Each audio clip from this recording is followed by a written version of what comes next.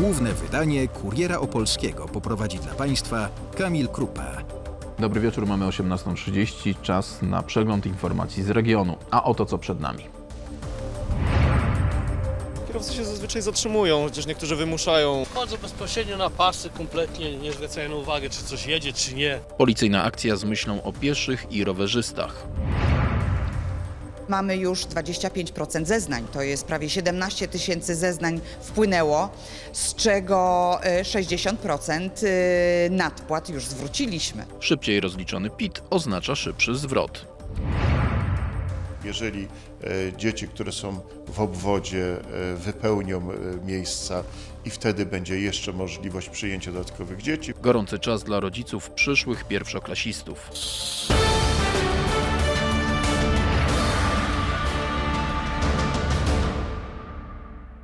W razie wypadku nie mają szans wyjść z niego całą. Nie chronią ich ani pasy bezpieczeństwa, ani poduszka powietrzna, a do nieszczęść, które w pierwszych miesiącach zebrały już w naszym regionie śmiertelne żniwo, dochodzi w miejscach, gdzie powinni być najbardziej bezpieczni. Dlatego policjanci postanowili w tym tygodniu zwrócić uwagę na pieszych i rowerzystów. Bartosz Sadliński. Wiosenna pogoda sprzyja rowerowym podróżom. Warto odpowiednio przygotować swój jednoślad do sezonu. No musimy mieć napompowane y, rowery, żeby dobrze hamować. To pewnie nie wszystko. E, No tak, na pewno odblaski, które tutaj mamy. e, No i karta rowerowa, żeby wiedzieć jak jeździć. Tak zwani niechronieni użytkownicy dróg to przede wszystkim piesi. Choć prawo stoi po ich stronie, nie zwalnia jednak od odpowiedzialności. Staramy się przechodzić na pasach, patrzeć na prawo i lewo. przestrzegać przepisów drogowych. Staroszkolne zasady, najlepsze jak na razie do tej pory. Kierowcy dbają o pieszych, uważają na nich, czy nie bardzo? Mm, to zależy. Raczej tak, chociaż zdarzają się wyjątki. Ale to już raczej mniejszość. Kierowcy się zazwyczaj zatrzymują, chociaż niektórzy wymuszają i przejeżdżają na pasach, mimo że nie trzeba. A bywa, że piesi, podobnie jak kierowcy, święci nie są. To zjawisko, które przyszło już do nas z Europy Zachodniej, a jeszcze wcześniej ze Stanów Zjednoczonych, czyli smart zombie jest czymś naprawdę niebezpiecznym, to znaczy piesi wpatrzeni e, w swój smartfon, nie rozglądają się. A co ciekawe, najwięcej wypadków z udziałem pieszych zdarza się na pasach. Piesi nie patrzą, wchodzą bezpośrednio na pasy, kompletnie nie zwracają na uwagę, czy coś jedzie, czy nie. Chodzą na pasy, nie, nie rozglądają się w prawo, w lewo. Nie, widać kiedy chcą wejść, musimy zgadywać wiecznie. No nie jest to łatwe. Do końca tygodnia opolska policja będzie zwracać szczególną uwagę na bezpieczeństwo pieszych. Mundurowi przygotowali też coś specjalnego. Zapraszamy jutro na godzinę 10 w okolicach Zamku Górnego w Opolu, w okolicach Galerii e, Handlowej Solaris. Tam będą policjanci ruchu drogowego, którzy pokażą e, jak wyglądają takie czynności na miejscu wypadku drogowego właśnie z udziałem e, pieszego. Pierwsze dwa miesiące 2024 roku przyniosły w naszym regionie 30 zdarzeń z udziałem pieszych, a więc tyle samo co w roku ubiegłym, z tą tylko różnicą, że poprzednio nie było ofiar śmiertelnych, a teraz odnotowano aż trzy. W zeszłym roku w całej Polsce doszło łącznie do 900 wypadków z udziałem pieszych, z których 80 zakończyło się śmiercią poszkodowanego. Bartosz Sedliński, Kurier Polski. Zwrot podatku nawet w jeden dzień, a jak do tej pory blisko 16 milionów złotych w portfelach. To efekt rozliczeń mieszkańców regionu z fiskusem. Co w tym roku zmieniło się w podatkowej relacji państwo-obywatel, to sprawdzał Jakub Słupecki. Od 15 lutego urzędy skarbowe udostępniły podatnikom indywidualnym oraz tym, którzy prowadzą działalność gospodarczą deklarację PIT za 2023 rok. Do tej pory na Opolszczyźnie druki wypełniło ponad 16 tysięcy osób. Usługa Twój EPIT dzięki, e, dzięki takiej e, otwartości cieszy się ogromnym powodzeniem. W związku z tym tych zeznań wpłynęło już bardzo dużo. E, Osoby fizyczne najchętniej korzystają dzisiaj i najszybciej się rozliczyły, czyli na przestrzeni tych dwóch i pół tygodnia mamy już 25% zeznań. To jest prawie 17 tysięcy zeznań wpłynęło, z czego e, 60% e, nadpłat już zwróciliśmy. Wysokim zainteresowaniem cieszy się usługa Twój EPIT. Z rozliczenia swojego oświadczenia podatkowego drogą elektroniczną skorzystało 96% płatników indywidualnych. Od kilku lat udostępniamy takie zeznania roczne jak PIT-37 dla osób nieprowadzących działalność gospodarczą, PIT-38, e, a w tym roku rozszerzyliśmy już o, o przedsiębiorców, którzy prowadzą działalność gospodarczą. Tam są zeznania przygotowane e, w formie e, z, z kwotami wpłaconych zaliczek w ciągu roku przez przedsiębiorcę. Elektroniczna forma rozliczenia niesie za sobą szereg korzyści, w tym szybki zwrot nadpłaconego podatku. Do tej pory do kieszeni mieszkańców województwa powróciło ponad 15 milionów złotych. Deklarację w formie elektronicznej można złożyć poprzez platformę e-Urząd Skarbowy na komputerze oraz korzystając z aplikacji M-Obywatel dostępnej na telefonach komórkowych. Jeżeli chodzi o sprawy związane z PIT-em, teraz od jakiegoś czasu można rozliczać go ek- elektronicznie. Uważa pan, że to jest proste, łatwe? Łatwo i, i tak właśnie rozliczam, także dziękuję ślicznie. Księgowe są od tego. Są tego, czyli pan firmę prowadzi. Taką małą, mikro. A jak pan ocenia e, sprawy związane z tym, że w tym roku będzie można też rozliczyć PIT elektronicznie, jeżeli chodzi o przedsiębiorcę? Jestem jak najbardziej za. Im więcej cyfryzacji, tym prostszy dostęp i szybsze rozwiązania także. Jak zaznaczają urzędnicy, dzięki automatyzacji zwroty większości zeznań złożonych w usłudze EPIT trafiają na konto znacznie szybciej. Niektórzy dostają je nawet w ciągu jednego dnia. Ostateczny termin złożenia deklaracji rozliczenia się z fiskusem przypada 30 kwietnia. Jakub Supecki, Kurier Opolski. To będzie gorący okres dla rodziców ponad 9 tysięcy przedszkolaków z całego województwa opolskiego. W Opolu rozpoczyna się rekrutacja do klas pierwszych szkół podstawowych. W innych gminach województwa zapisy już się rozpoczęły lub zaczną się niebawem. Co warto o nich wiedzieć? O tym Wojciech Bulasz. W Krapkowickiej czwórce nabór już trwa. Do końca tygodnia będą rejestrowane dzieci z rejonu, który obejmuje szkoła. Potem o miejsca dla swoich pociech będą mogli ubiegać się rodzice spoza obwodu. Jesteśmy atrakcyjną placówką ze względu na atmosferę panującą w naszej e, placówce, w naszym przedszkolu, w naszej szkole. E, taką rodzinną atmosferą przyciągamy e, też innych Ale aby zapisać dziecko do szkoły poza miejscem zamieszkania, trzeba spełnić kilka kryteriów, które zwiększają szanse przyjęcia do placówki, takie jak bliskość miejsca pracy rodziców czy rodzeństwo w tej samej szkole. Taka rekrutacja w Krapkowicach ruszy później. Od 11 marca do 22 rekrutacja, jeżeli ktoś chce chodzić do szkoły poza swoim obwodem, to z różnych przyczyn ktoś dojeżdża do pracy, dowozi dziecko, jeżeli będą miejsca wolne. W Opolu nabór i rekrutacja właśnie się rozpoczęły i będą trwały do 4 kwietnia. Obejmą około 1200 dzieci. Najpierw szkoły będą zapełniane dziećmi z rejonów, później przyjdzie pora na te spoza nich. Dostać się mogą wówczas, kiedy będzie miejsce.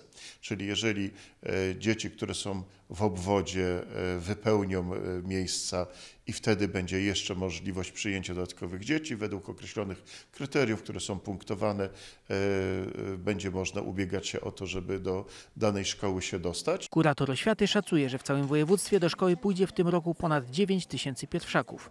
Jak podkreśla, czas rekrutacji jest elastyczny i zależy od gminnych i powiatowych wydziałów oświaty. Jeżeli chodzi o y, termin, to oczywiście określa go organ prowadzący, ale on też musi się określić w jakichś ramach, prawda? Tu mówimy o 4 marca do 4 kwietnia, y, kiedy organ prowadzący rozpoczyna okres rekrutacyjny. W Opolu, jak i w Krapkowicach rekrutację prowadzi się metodą elektroniczną. Ostateczna lista przyjętych dzieci będzie znana w stolicy regionu 10 maja. Wojciech Bulasz, Kurier Opolski. Czas na aktywność wyborczą. Kolejne partie polityczne odsłaniają karty przed samorządowym plebiscytem i prezentują swoich kandydatów. Przedstawiciele Prawa i Sprawiedliwości przedstawili liderów list kandydatów do Sejmiku Województwa Opolskiego. Jedynką w okręgu opolskim będzie Sławomir Kłosowski, z kolei w okręgu brzesko-nyskim pierwsze miejsce na liście zajmie Martyna Nakonieczna. Powiecie kędzierzyńsko-kozielskim naszą listę otwierał będzie były senator Grzegorz Peczkis. W powiecie prudnickim naszą listę otwierał będzie również były senator do niedawna e, pan Jerzy Czerwiński, a w powiecie w okręgu kluczborskim, kluczborsko-namysłowskim naszą listę e, otwierał będzie obecny radny e, Sejmiku Województwa Opolskiego Jerzy Niedźwiecki. Dotacje, które spływają, e, nigdy nie są tak wielkie jak w innych rejonach i to jest rzecz, o którą należy walczyć. Należy walczyć również o przywrócenie e, bezpośredniego połączenia e, między Nysą a Wrocławiem. Naprawdę dogłębnie znam zalety, silne i słabe strony województwa opolskiego. Znam problemy mieszkańców województwa opolskiego. Z tymi problemami zapoznawałem się przez okres zarówno bycia posłem, jak i europosłem, ale szczególnie przez te ostatnie trzy lata jako wojewoda. Również Koalicyjny Komitet Wyborczy Lewicy otworzył dziś kampanię w wyborach do Sejmiku Województwa Opolskiego. Jedynką na liście opolskiej jest Jerzy Przystajko, rzecznik opolskich struktur partii Razem. Listę z okręgu północnego otwiera Natalia Podmostka, a z południowego Patryk Michałowski. Będziemy walczyć o mieszkania, będziemy walczyć o porządną szkołę, będziemy walczyć o to, żeby w Polsce były porządne, dostępne, dobrze wyposażone szpitale. Chcemy tutaj zaprosić wszystkich o poglądach e, lewicowych do głosowania na naszą listę. Ja z, ze swojej strony obiecuję e, spełnić wszystkie e, swoje tutaj przyrzeczenia, które złożyłam już wyborcom, kiedy mogliśmy Państwo spotkać na listach do Sejmu. żebyśmy mieli prawidłowy dostęp do, do wszystkich zasobów medycznych, żebyśmy mogli korzystać ze specjalistów i to, żeby w końcu każdego było stać na mieszkanie i to będzie tutaj w kwestii naszych sejmików. Swojego poparcia w wyborach do Sejmiku udzielił prezydent Opola Arkadiusz Wiśniewski. Poparł Dorotę Piechowicz-Witoń. To działaczka społeczna, doktor nauk społecznych i naczelniczka Centrum Dialogu Obywatelskiego w Opolu. Pierwszy postulat dotyczy właśnie polityki równości i polityki e, dotyczącej e, praw kobiet, spraw kobiet. E, Szanowni Państwo, do tej pory jedyna działająca w województwie opolskim Rada Kobiet to Rada Kobiet w Opolu. Ta bardzo krótka, ale bardzo intensywna kadencja pokazała, że takie rady nie tylko inicjują, opiniują, konsultują, ale przede wszystkim mm, inspirują kobiety do działania. Uważam, że to samo powinno mieć miejsce na forum Sejmiku Województwa i w ogóle takiej szerokiej polityki samorządu województwa. E, Nadchodzące wybory są okazją do tego, żeby takie zmiany wprowadzić, żeby zainspirować tego typu działania. A o czym jeszcze dzisiaj powiemy? Powiedzieli nam, że to, co ma się w plecaku, na własnych plecach, na ramionach, to jest wtedy najbezpieczniejszy sposób noszenia tego całego dobytku, czyli domu. Akcja zbiórki najbardziej potrzebnych przedmiotów dla osób bezdomnych i wykluczonych.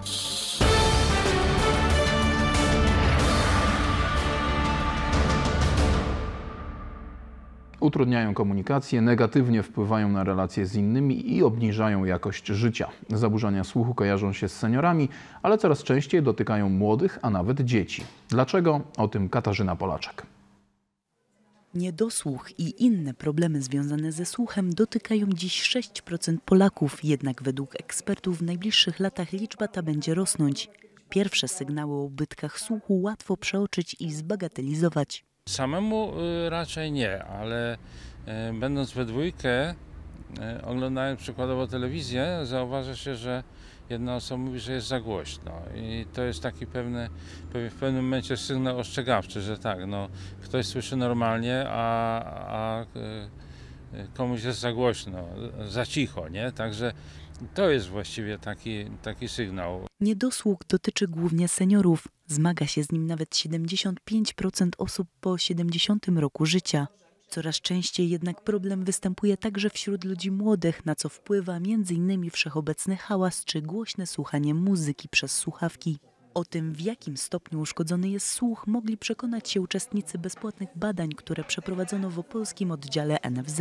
Wiele osób ma w tej chwili już ubytki słuchu i to nie tylko osoby starsze, ale również dzieci. Przy poprzednich akcjach e, nawet co czwarte dziecko miało już ubytki słuchu, stąd też dziś nie tylko dorośli, ale również dzieci powyżej szóstego roku życia zostały przebadane. Badanie audiometryczne to nieinwazyjna i bezbolesna metoda sprawdzania ubytku słuchu, którą powinno się przeprowadzać raz w roku. Z badań w siedzibie Narodowego Funduszu Zdrowia skorzystało 50 osób. Słuch i pamięć to jest najważniejsze. Panie. Długo się mówi, że nie trzeba, nie trzeba, nagle pach i niedosłuch. Jak ja to mówię, nie dość, że głuchy to jest nie słyszę. No, to, no nie do naprawy, no po prostu de słuch, ale dla profi, profilaktyki to chcę wiedzieć, jaki ubytek mam. Wyniki badania audiometrycznego są znane od razu. To jednak nie wszystko. Sam audiogram, który jest w normie, jeszcze, jeszcze nie do końca mówi nam, że jest wszystko w porządku. Yy, Natomiast jeżeli mamy do czynienia z ubytkiem słuchu, no stricte, że już mamy tutaj problem mm, związany właśnie z, z uszkodzeniem czuciowo-nerwowym, czyli potrzebny jest aparat słuchowy i w tym celu po prostu też no, yy, pacjenta dalej konsultujemy i tutaj prowadzimy. W zeszłym roku NFZ zmienił zasady dotyczące refundacji dopłat do aparatów słuchowych. Uzależnione są one od stopnia ubytku słuchu oraz wieku pacjenta. Katarzyna Polaczek, Kurier Opolski. Konkurs Opole bez barier zyskał swojego patrona. Został nim wieloletni i pierwszy niepełnosprawny radny Opola, nieżyjący już Adam Pieszczuk. Biorąc e, pod uwagę jego ogromne zaangażowanie przez kilkanaście lat, ogromne zaangażowanie na rzecz osób z różnymi niepełnosprawnościami, na rzecz osób wykluczonych w mieście Opolu, e, dzisiaj wiele działań czy wiele przedsięwzięć, które z powodzeniem funkcjonują w mieście, musimy sobie zdawać sprawę z tego, że to właśnie świętej pamięci Adam Pieszczuk chodził, chodził za tymi tematami, aż wiele z nich wychodził, uzgodnił z władzami miasta Opola, e, z Radą Miasta Opola i ze wszystkimi, e, ze wszystkimi e, gremiami. Świętej pamięci Adam Pieszczuk był osobą, która była opozycyjna wobec tego, co się przez wiele lat w ratuszu działo. Podkreślam to celowo, żeby przypomnieć osobę, która wcale nie jest jakiegoś grona mi osób bliskich, czy osób, które, które gdzieś wspierały mnie swoimi działaniami, a jest miejsce również na uhonorowanie i pamiętanie o takich osobach. No, mówiąc wprost, czasami dał sporo popalić. Nawet nie mi osobiście, ale jeszcze poprzedniemu prezydentowi Zębaczyńskiemu. Mój dom w plecaku to akcja szkolny, szkolnych kół Caritas, które organizują zbiórkę artykułów dla osób bezdomnych i wykluczonych społecznie. O akcji skierowanej do korzystających z łaźni dla osób bezdomnych w Opolu opowie Hanna Honisz. Dobry prezent to trafiony prezent. Caritas Diecezji Opolskiej zaprasza w Wielkim Poście do zbiórki najpotrzebniejszych artykułów, które otrzymają osoby bezdomne. O szczegółach akcji opowie pan Artur Wilpert. Co to za akcja? Odpowiadamy na potrzeby najbiedniejszych mieszkańców naszego miasta Opola, osób bezdomnych, wykluczonych. Akcja pod nazwą Mój dom w plecaku. Dlaczego dom, dlaczego plecak?